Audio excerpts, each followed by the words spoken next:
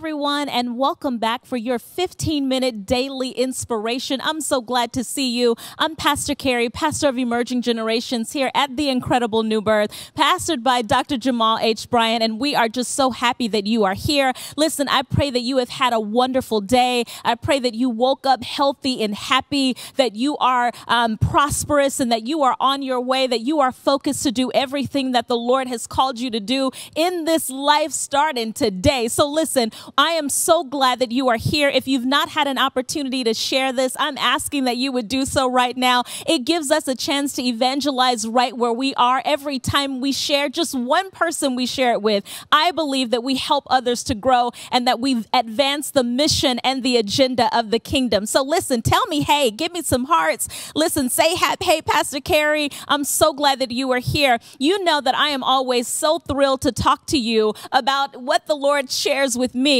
in our 15 minute inspiration. You'll be amazed at how 15 minutes can change the course of your life, how 15 minutes can take you down a new path for the better. And so we are so honored to be able to do this. Today, I want to jump right in. Our topic for today is under construction, the process of becoming. We have, for the last couple of months, have been stuck with ourselves. And if you've not spent any time with yourself, I wonder how you're doing. If you're a person like me who spends a great deal of time by myself, I was comfortable with being alone, but it also caused me to have to look myself in the mirror. I couldn't uh, look at anybody else. I couldn't really focus on anybody else. I was alone with myself. And what we are faced with during this quarantine time, during this time that we have been alone, is the truth of what we see in ourselves. Listen, there are some beautiful things that we might see about who we are, and there might be some things that we see about who we are that may make us feel uncomfortable. Listen, this year has been what I call beautiful chaos. I'm calling it beautiful because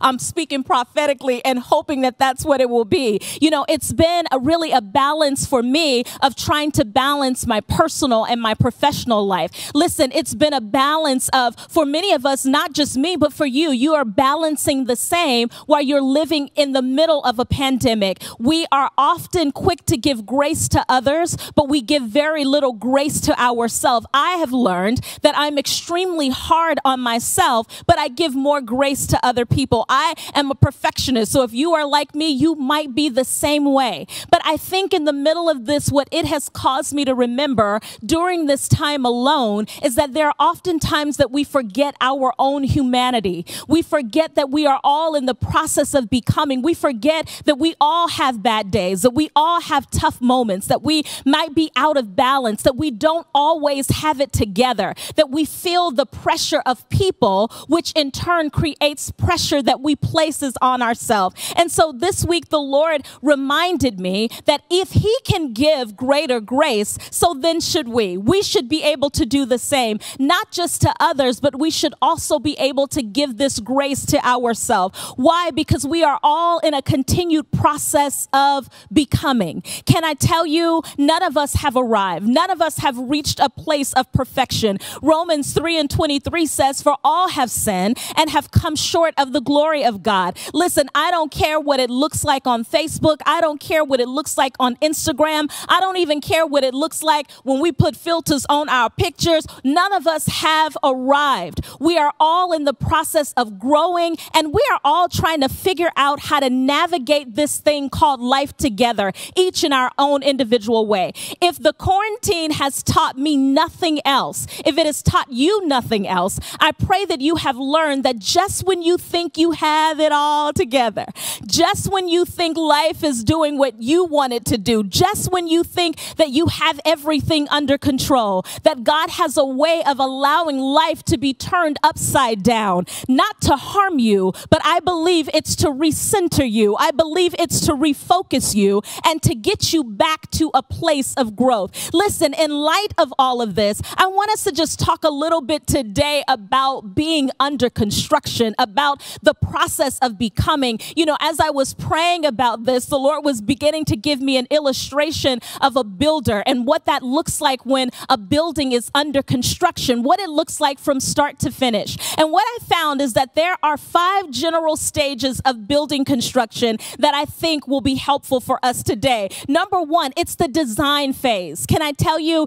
every successful build starts with an idea. It's during the design stage, a construction management company begins the work of transforming a concept into reality. I want you to remember from this, you've got to remember your design. Can I tell you that you are custom, that everything about you is unique, everything about you is, is specifically created to you? Ephesians 2 tells us where Paul says, Listen, for we are his workmanship, created in Christ Jesus for good works, which God prepared beforehand. Hear this, that we should walk in them. Listen, workmanship is the skill, it's the quality of a product based upon a design, the quality of the materials and the crafts that are included for their use. Also, it's the quality imparted in a thing. Hear this in the process of making. It is how you are built. It's the time. It's the attention that has gone into you for you to be what you are.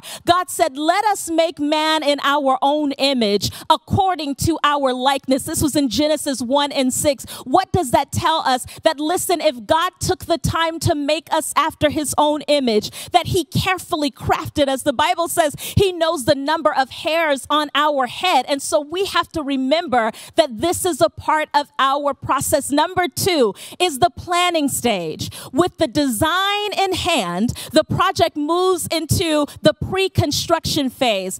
It is in this phase where the construction project coordinator confirms that the assembled team is working together smoothly. I want you to know that you've got to remember that you have already been equipped with everything that you need. Second Peter 1 and 3 says, By his divine power, God has given us everything we need for living a godly life. We have received all of this, hear this, by coming to know him, the one who called us to himself by means of his marvelous glory and excellence. Listen, Second Timothy 3 and 17 says, So that the man of God may be complete, fully equipped for every good work. So as you are going through this planning phase, you've got to know that you have everything that you need. Number three is the construction execution phase. Listen, with the start of any project, you've got to understand that there is a construction execution phase. This is the construction stage, the, where the building begins to happen.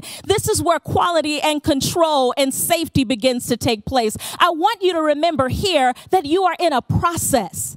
Listen, and that your journey is under God's control. Psalms 119 and 133 says, Keep steady my steps according to your promise, and let no iniquity get dominion over me. Psalms 37, 23 and 24 says, The steps of a righteous man, y'all know this, are ordered by the Lord when he delights in his way. Though he fall, he shall not be cast headlong, for the Lord upholds his hand. Listen, Philippians 1 and 6 says, being confident of this, that he who began a good work in you will carry it on until completion. Hear this until the day of Christ Jesus. I love this passage because it tells us to be confident, be full of assurance, be strong in belief that God is invested in this thing until the end, that he will carry it on until its completion. Can I tell you that God is committed to your process of completion? Can I tell you that God is invested invested in you getting to the end. The Bible says that he broods over his word. He watches his own word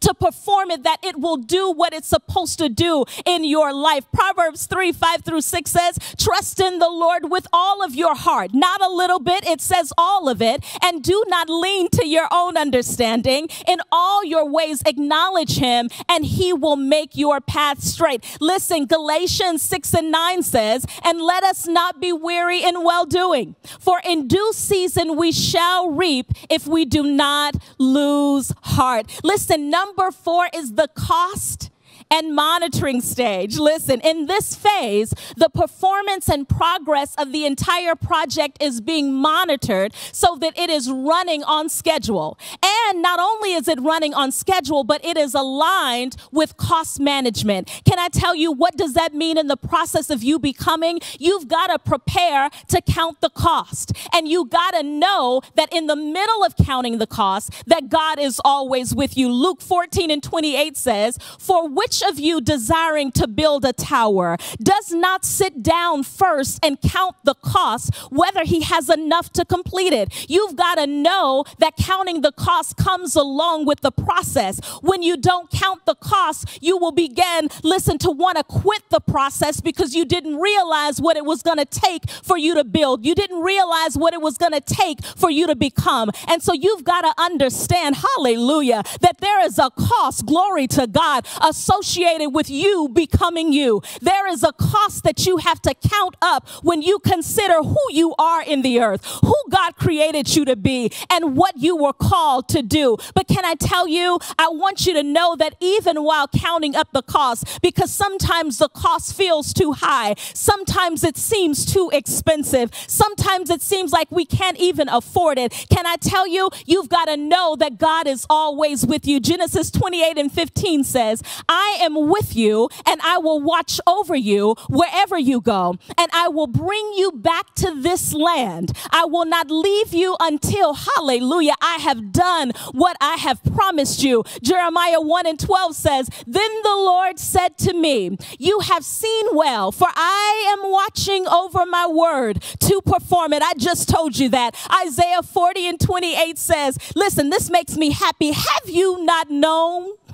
It says, Have you not heard? It says, The everlasting God, the Lord, the creator of the ends of the earth, neither faints nor is weary. His understanding is unsearchable. What that mean? He don't ever get tired. So he is invested in your process. God is always with you. Psalms 121 and 8 says, The Lord will watch over your coming and you're going. Hallelujah, both now and forevermore. Listen, number 5 is the completion phase. This is the this is where the building is finalized and it's handed over to the owner. Listen, this is when you have gotten to the place that you want to be at. We are all striving to get to the completion phase. This is why, listen, Paul told us, I press towards the mark of the prize of the high calling, which is in Christ Jesus. Listen, you becoming who you are in this process, listen, it's gonna take time. You don't arrive overnight. Listen, so when people want to talk about you, when people want to criticize you, when people want to make you feel like you have not arrived yet, because there are so many people that put on as if they're already there.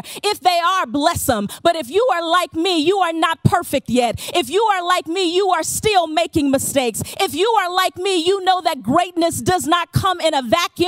If you are like me, you know that every single day you have to make a decision to think a certain way. You've got to make a decision, even in the face of discouragement, to act a certain way. You've got to make a decision to take the high road, even when other folks don't. You have to make a decision to go high, as our First Lady says, when they go low. These are the things that you do, but you give yourself grace in the middle of it. You are honest with where you are. Because listen, you can pretend in front of other people, but you can never pretend to yourself, and ultimately, you can never pretend to God. Even as we look at the construction of a building, we realize that it started with a vision. You started as a vision. God had you in mind. He knew who you should be born to, He knew what circumstances you should come from, He knew what gifts and talents you would have. He was mindful, hallelujah, of you and how He created you. And as you are in the process of becoming all that He now sees you, because can I tell you, I believe that the Lord sees us as our finished work. He is not seeing you in the midst of your sin, He is not seeing you in the midst of your mistakes, but He sees you as completed and whole. Our goal, our desire is get to get to the place in which the Father sees us. And in order to do that, you've got to give yourself grace. You've got to give yourself an opportunity to process, to walk through what you are walking through. When folk got something to say, you just say, listen, I'm under construction. When they want to be critical, you say, listen, I'm under construction. Now, that doesn't give us the right to remain in a space of being stagnant, but what it does help us to know is that every single day, hallelujah, that God gives us breath in our body, we have to be focused on growing. We have to be focused on progressing. And the same grace that we give to others as they are in their their process, we've got to learn to give to ourselves. So listen, I pray that as you have been one on one with yourself, that you have learned new things about yourself, even the hard stuff that we don't want to look at, because you got to look at the hard stuff in order to get to the place that you want to get to. I hope that today blessed you. I pray that you learned something new about being under construction, being in the process of becoming, and what that looks like. I pray that you have a fresh peace. I pray that you have a fresh anointing, a fresh heart for the Father as you move forward. Listen, we love you so much here at New Birth. I can't even tell you enough how much we love you. I can't tell you how grateful we are that you take the time to be with us for your 15 minutes. Listen, you could be doing anything right now, but you are here with us. And I believe that not only do we love it, but the Father loves it, loves it. And I believe that He will honor it. And so I speak blessings over your life, prosperity over your life, and only good things, good things that come from our Father. Listen, on behalf of our pastor, Dr. Jamal H. Bryant, your entire New Birth tribe, your entire New Birth community, we love you. We bless you. We honor you. We're praying for you always. And we're so glad that you were here. Listen, you can text to give right now because y'all know that I believe in sowing. And can I tell you, New Birth is great ground. I'm a personal witness to it. And if you say, listen, Pastor we want to be a part of that community of faith where everybody knows that they are under construction and we are all pressing to become better. You can do that by joining right now at newbirth.org. Listen, I'm sending you virtual hugs. I'm sending you virtual love. And if nobody else is rooting for you, I promise you I am. If nobody else is praying for you, I promise you I am. And I believe that we will get there together. I love you. Have an incredible day.